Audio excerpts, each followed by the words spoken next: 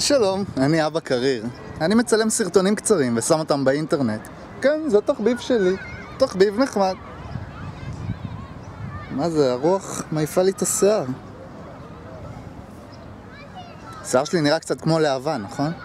להבה. אם הרוח מעיפה לי את השיער, למה היא לא מעיפה את הצמח הזה? זה צמח ש... או, תודה על האור, ויקטור. זה צמח שמתרבה על ידי הרוח. ופה אף אחד לא עשה לו פו, אז הוא לא... הוא לא אפוי. פוי.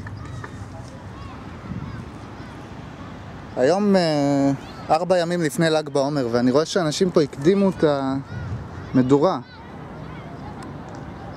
היום עוד לא ל"ג בעומר, היום כ"ט בעומר, הם חוגגים את כת בעומר.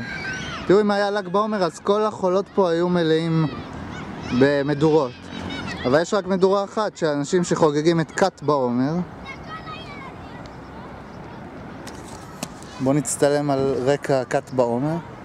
עכשיו השיער שלי נראה כמו להבה. אולי אני אצבע לבלונד? פוי. כת בעומר זה חג טוב, תחשבו על זה.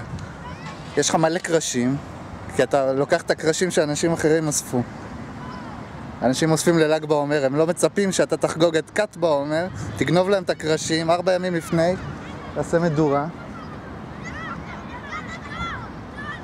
וגם אין לך ריח של עשן, כי בל"ג בעומר יש מלא עשן. לא משנה.